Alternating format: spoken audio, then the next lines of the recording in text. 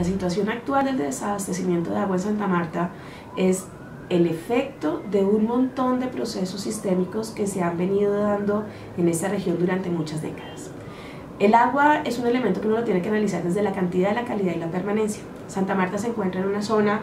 subxeropítica, o sea, es una zona con déficit hídrico que la alimentan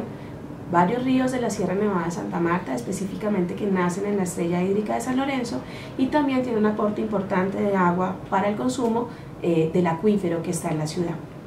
Estos dos fuentes de agua han estado teniendo problemas eh, en su cantidad, en su calidad y en la permanencia del suministro.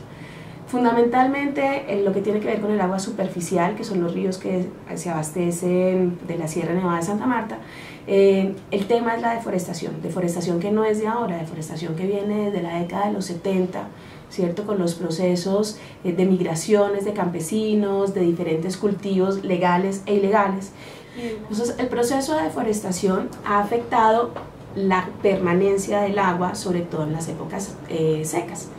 al deforestarse el agua baja rápidamente y se utiliza rápidamente, no tiene ese proceso ecológico de atenuación del ritmo y de la velocidad de bajada y poder eh, infiltrarse al acuífero de una mejor manera. Hay un elemento también muy importante y es que la ciudad ha crecido. Santa Marta ha tenido un aumento poblacional de casi el doble en las últimas dos décadas y las fuentes tendrían que haberse aumentado, las fuentes de disponibilidad de agua. Eh, ha habido muchos proyectos de nuevas fuentes de agua que se hablan del río Córdoba, del Curval, del río Huachaca, del río Piedras, pero se han quedado en ideas, en algunos inicios de proyecto, pero no se han ejecutado realmente.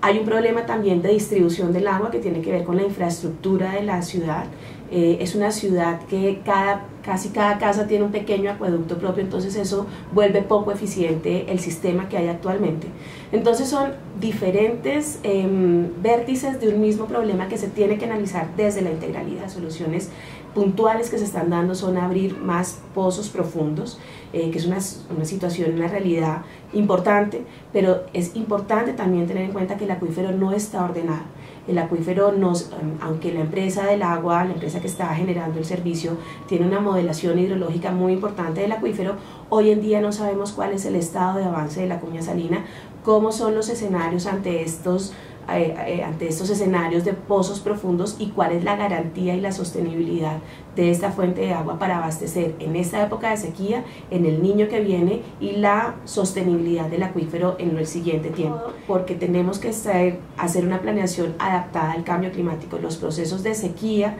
y de inundación van a ser cada vez más frecuentes, más drásticos y, nos, y necesitamos adaptarnos de una mejor manera para que una ciudad costera como Santa Marta, tan importante, con unas presiones de crecimiento urbanístico, con unas presiones eh, industriales y de comercio tan grandes, pueda realmente dar respuesta a un abastecimiento y a un bienestar para sus ciudadanos.